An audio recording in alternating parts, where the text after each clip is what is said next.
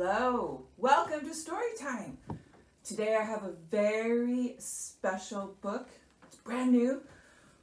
It's called You in Your Safe Bubble and I in Mine by Kate D. Walker. And she says, I wrote this little book to help all my young friends understand how to stay safe during this time of coronavirus. It is a very confusing time at the moment, but we can still have fun. See you all soon. Kate. Oh, thank you, Kate. This is amazing. All right, shall we read her new book? You in your safe bubble, and I in mine. We're really excited. A wonderful day. At last, we're allowed to come, visit, and play.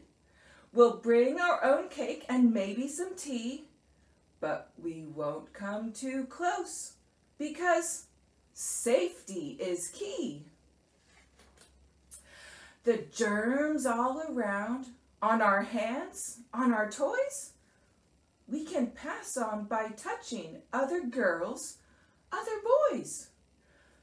We so want to give you a cuddle and a hug, but we really don't want you to catch this bad bug.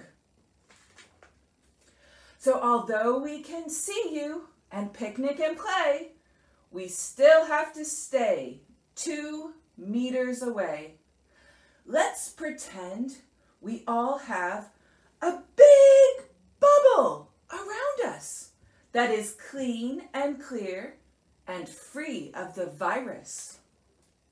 If we stay in our bubbles and make sure they don't pop, we'll stay well and play safely and the virus will stop. If our parents meet up in the park or the street, and start talking so you and I also meet. As soon as you see me, remember this first. Don't come too close or my bubble will burst.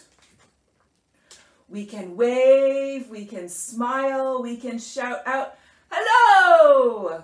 We can run, we can hop, we can jump high and low.